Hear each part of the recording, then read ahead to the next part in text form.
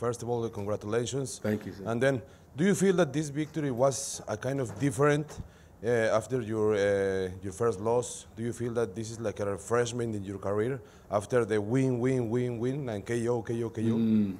Yeah, it's nice to KO to KO. Like there was times that I looked in Andy's eyes and I wanted to put my fist through his head. But then I thought to myself, this is boxing, you know. I need to win for myself. I need to show people that this is the sweet science of the sport as well. It's not it's not like a, a script where they say Anthony's gonna go. It's not it's not wrestling. This is real life.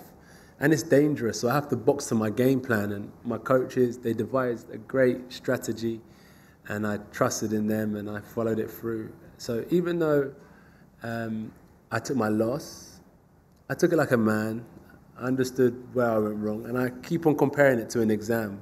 When you take your exam, if you fail the first time, you study and you prepare better the next time. And I just knew with all of my preparation, my education, and um, discipline, I just knew I was going to pass this exam against Andy.